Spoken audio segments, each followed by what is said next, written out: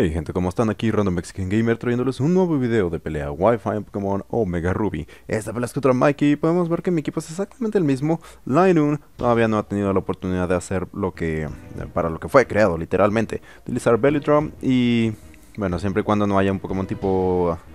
acero o tipo... ¿qué será? ¿Fantasma? Debería ser... Ah, probablemente capaz de hacer un sweep. Pero bueno, podemos ver que él empieza con Lotus Grace, que viene siendo su. Yo predije que él iba a querer empezar con Mienshao porque pues, es un lead bastante común, con Fake Out, U-Turn y todo eso. Entonces, uh, decide mandar a su Latias. Yo estaba casi seguro de que él iba a utilizar o Fake Out o... O iba a cambiar directamente. Entonces dije, bueno, pues, igual utilizo Flare Blitz, ¿qué más da? Entra su Latias y lo destrozo completamente con un Flare Blitz Critical Hit. Y... Oh, brut... ¿Qué? ¿Cómo se llama? Brutalanda, algo así. Es brutal el Flare Blitz que acaba de destrozar por completo sus Latias. Aunque bueno, fue Choice Band y todo eso, pero de todas maneras no me lo esperaba. Y estoy completamente seguro de que ese Critical Hit fue bastante importante. Entonces, bueno, supuse que él iba a querer Mega Evolucionar, es justamente lo que sucede. Mega Evoluciona utiliza Earthquake, de hecho. Pensé que... De hecho, preví que él iba a querer utilizar probablemente Dragon Dance y por eso mandé a Lainun, pero claro que no. Entonces, bueno, pues ni modo. Tiene que aguantar un Earthquake. Lo bueno es que la Citrus Berry pues me va a dejar por encima del 50% del HP, pero no va a ser suficiente para resistir un Return Light de parte de Mega Salamence. Ahora, entra mi Pokémon defensivo físico, Gourgeist, del cual no tiene un... no se divierte mucho en contra de sus Salamence porque... Vean la cantidad de daño que me hace ese return. Utilizo Will Wisp, fallo el Will Wisp.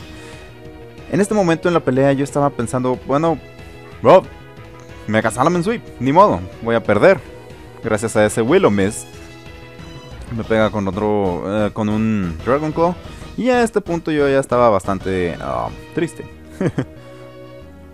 Decido mandar a Main Electric, aprovechando que Salamence todavía no ha utilizado uh, Dragon Dance, si es que lo trae. Bueno, que no ha utilizado un Dragon Dance o algo por el estilo. Decido mega evolucionar, consigo un Intimidate, lo cual probablemente me vaya a permitir vivir un... un ¿Cómo se llama? Válgame, un Earthquake. Pero soy más rápido que él, por alguna razón, tal vez su Mega Salamence es Adamant. Pero bueno, el hecho de que no haya utilizado Dragon Dance me dio mucha... Uh, me dio la oportunidad de resistir, es, uh, o bueno, de evadir o de parar ese probable Mega Salamence Suite. Porque vean, un Hidden Power Rise obviamente lo destruyó por completo. Ese Flamethrower se deshizo de su Duo Blade. Duo Blade, Blade, algo así. Porque, bueno, pues Mega Man tiene lo suyo. Le pego con un Volt Switch a su, su Spiritomb. Critical Hit, casi lo derroto de un solo golpe. De haber utilizado Thunderbolt y eh, de haber conseguido un Critical Hit, probablemente si lo hubiera ah, derrotado. Bueno, no, probablemente estoy seguro. Pero, bueno, él, utiliza Willow falla. Lo cual es bastante bueno para mí, porque bueno, no es que a, a Dugong le moleste mucho estar quemado, pero entonces fue como que un pequeño una pequeña servidita de justicia por ese Willowmist que, que me pasó a mí. Ahora entra Lotus Grace, me va a pegar con el Fake Out, obviamente me va a hacer una cantidad pues más o menos de daño porque tiene Life Orb y porque Dugong es un defensivo especial, pero de todas maneras con los Leftovers a recuperar como un tercio del daño que me hizo con ese Fake Out. Ahora vuelve a cambiar su Lotus Grace. Yo de hecho pensé que se iba a quedar a utilizar el, el Drain Punch.